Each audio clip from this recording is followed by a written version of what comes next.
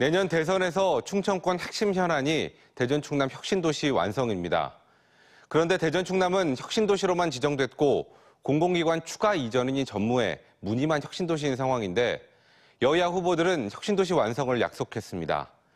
이번엔 과연 혁신도시 완성이 가능할까요? 서울방송센터 김성민 기자입니다.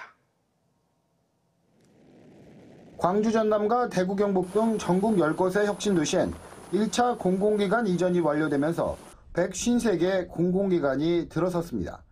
민간 기업의 혁신도시 이전 역시 2019년 기준 1,400여 곳으로 1년 전에 비해 2배 가까이 증가했습니다. 특히 전남 나주 혁신도시엔 한국에너지공대까지 설립되는 등 기존 혁신도시는 일자리와 투자, 정주 여건과 교육이 개선되고 있습니다. 반면 대전 충남은 지난해 혁신도시로 지정만 됐을 뿐 공공기관 추가 이전이 이뤄지지 않아 이 같은 혜택은 말 그대로 그림의 떡입니다. 이번 대선에서 민주당 이재명 후보는 대전 충남 혁신도시 공공기관 이전을 충청권 공약으로 내걸었습니다. 어, 문재인 정부가 그렇게 기반을 만들었다면 다음 정부에서는 수도권에 있는 공공기관을 추가로 이전하기 위한 아주 구체적인 로드맵들을 좀 작성을 해야 된다고 생각을 하고 있고 국민의힘 윤석열 후보 역시 대전 충남 혁신도시 공공기관 이전을 충청권에 약속한 바 있습니다.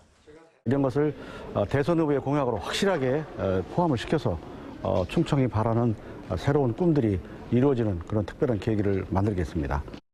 대전은 역세권과 연축지구에 과학기술과 교통 분야 공공기관 유치를 희망하고 있고 충남은 내포 신도시를 중심으로 환경과 에너지, 문화체육 관련 공공기관 유치를 검토 중입니다. 전국 400곳의 공공기관 중 150곳이 공공기관 2차 이전 대상에 포함될 것으로 보이는데 자치단체마다 유치 경쟁이 치열하고 상당수 유치 희망 기관들이 겹치는 상황입니다.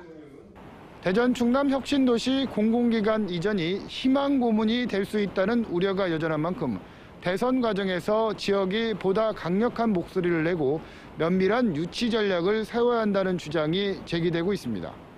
TJB 김성민입니다.